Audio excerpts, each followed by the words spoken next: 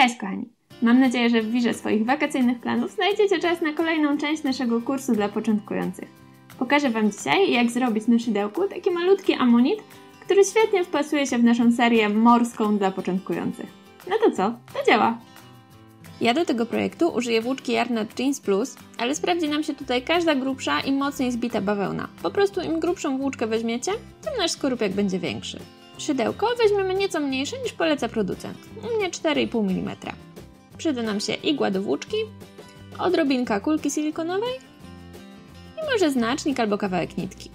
Zaczniemy od zrobienia pętelki. Łapiemy nitkę i owijamy na palcu. Wkładamy szydełko pod górną nitkę, wyciągamy tę nitkę, która idzie do kłębka, zaciskamy pętelkę, robimy 4 oczka łańcuszka,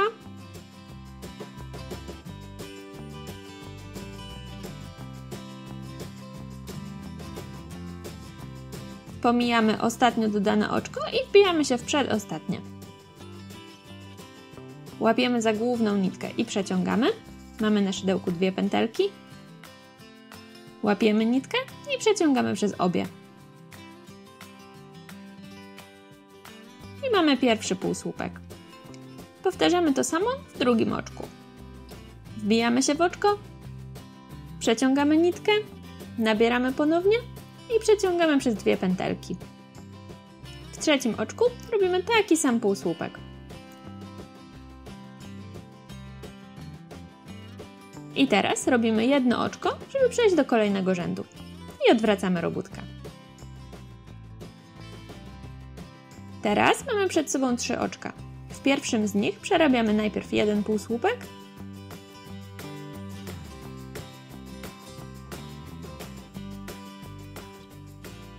a potem w tym samym oczku robimy jeszcze jeden półsłupek. W kolejnych dwóch oczkach dodajemy już normalne półsłupki.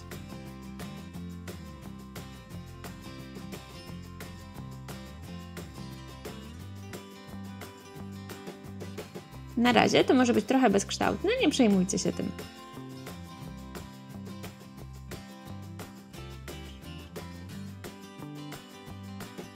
Dodajemy znowu jedno oczko łańcuszka i odwracamy. W tym rzędzie nie będzie żadnych podwójnych oczek, za to od teraz nie będziemy się wbijać pod obie nitki oczka, tylko pod tylną nitkę, te dalej od nas. Dodajemy w ten sposób cztery półsłupki. Będziemy wbijać się tylko pod tę tylną nitkę już do końca robótki.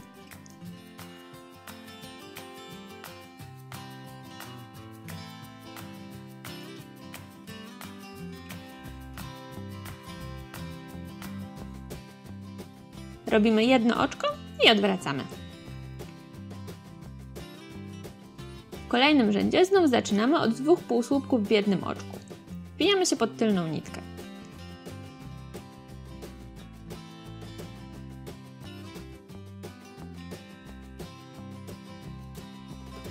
Do końca rzędu robimy pojedyncze półsłupki, ale też pod tylną nitkę.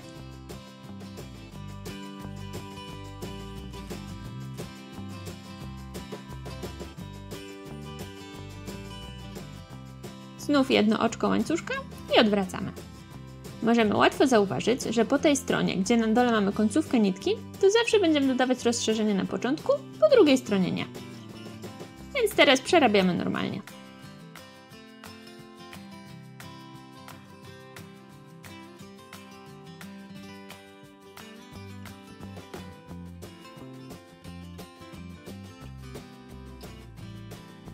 Zwróćcie uwagę na to ostatnie oczko, żeby w nim też przerobić półsłupek, bo słabo je widać można je przeoczyć. W kolejnym rzędzie, jak już się zapewne domyślacie, zaczynamy od rozszerzenia, czyli dwóch półsłupków w jednym oczku.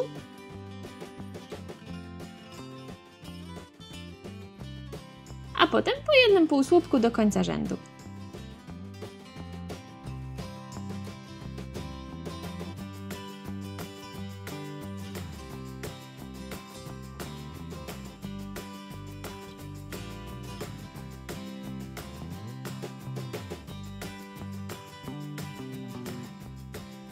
Przerabiamy w ten sposób kolejne rzędy, wbijając się tylko pod tylną nitkę i rozszerzając na początku co drugiego rzędu, aż do osiągnięcia odpowiedniej długości.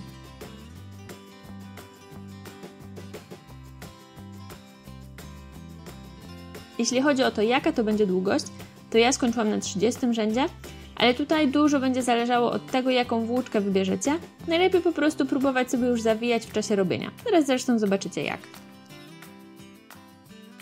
Mój trójkąt ma około 15 cm.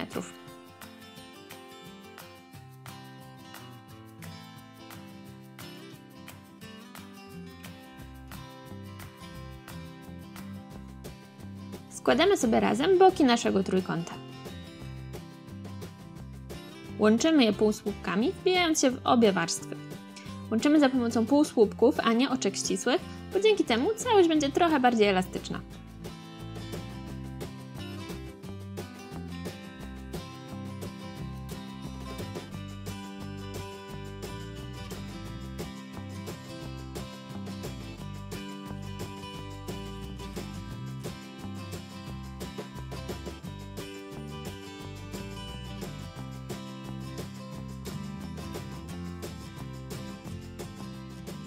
Jak widzicie, robi nam się tu taki szef. Powstał nam w ten sposób taki pusty w środku róg, czy coś w tym stylu.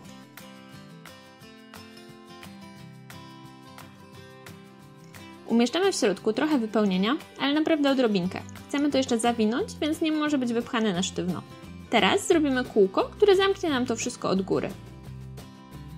Zaczynamy od magicznego kółka.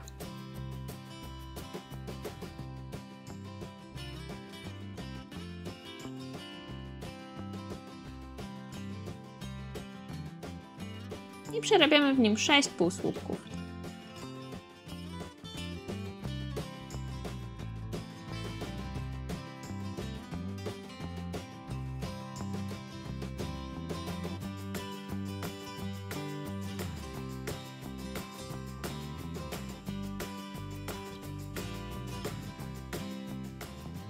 Zaciskamy.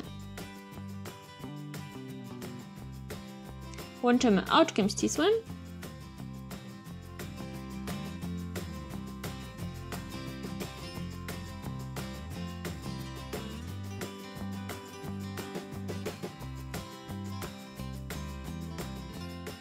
i w kolejnym oczku robimy półsłupek.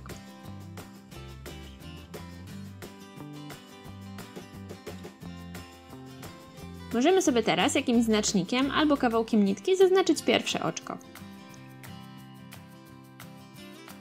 I teraz w każdym z tych sześciu oczek robimy po dwa półsłupki.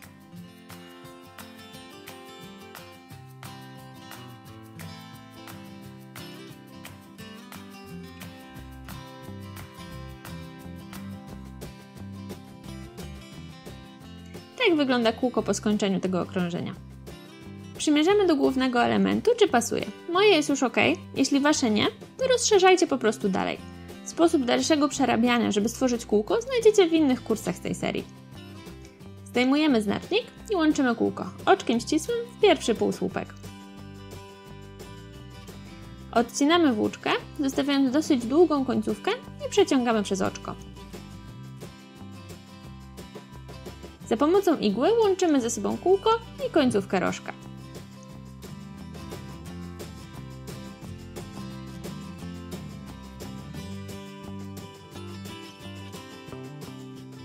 Ja wbijam się tylko pod wewnętrzne nitki. Wy oczywiście możecie wbijać je tak, jak Wam się bardziej podoba.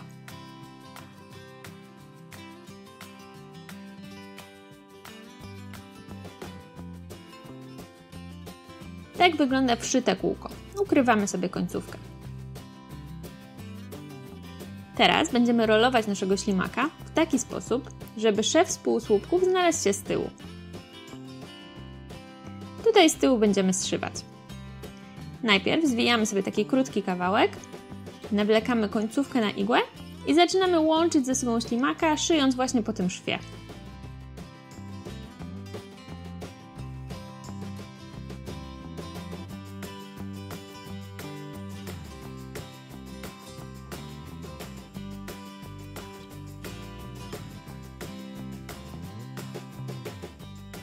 Ostrożnie zawijamy go dalej, cały czas stopniowo zszywając.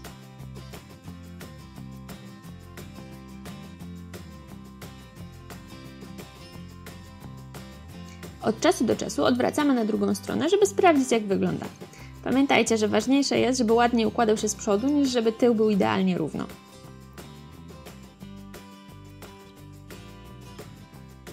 Po dojściu do końca jeszcze dla pewności przeszywamy kilka razy.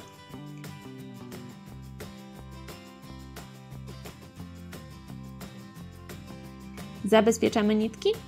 Jeśli zostały nam na końcu dwie, to można je związać razem i dopiero wtedy ukryć końcówki. I odcinamy. I proszę, nasz uroczy amonitek jest gotowy.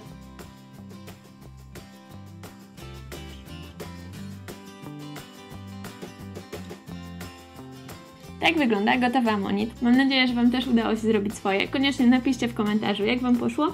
Piszcie, co Wam się podobało, a co nie. Jak zawsze wpadajcie też do naszej grupy na Facebooku, gdzie możecie też pochwalić się swoimi pracami. No i co? Widzimy się następnym razem.